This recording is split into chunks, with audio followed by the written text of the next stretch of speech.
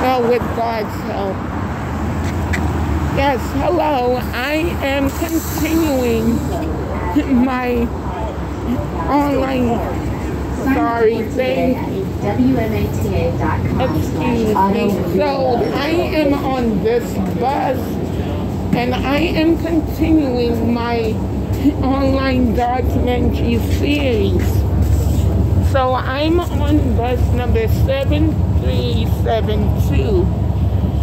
And like really for me to continuously be followed and monitored by by strangers when I haven't been through like any anything from the courts.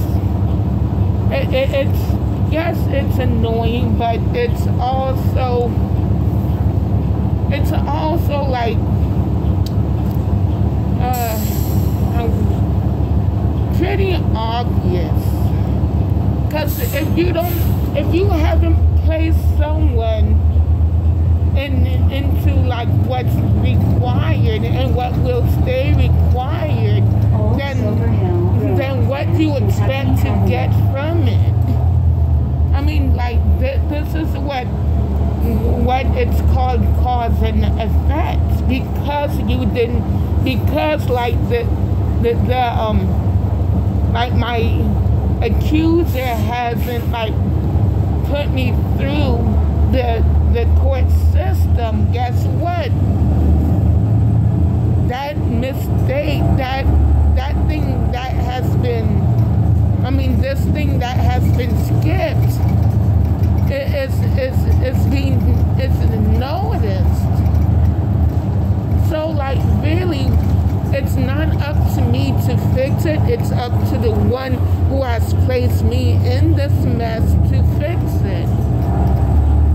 Because like really it now it's it's it's it's those who rise up against me against like versus the law.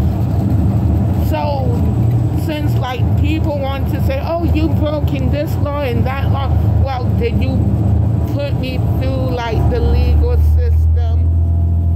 Or like, did you like withhold the documents that you were supposed to like give me back in 2019?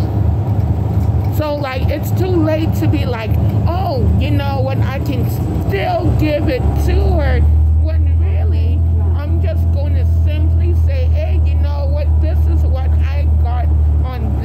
day.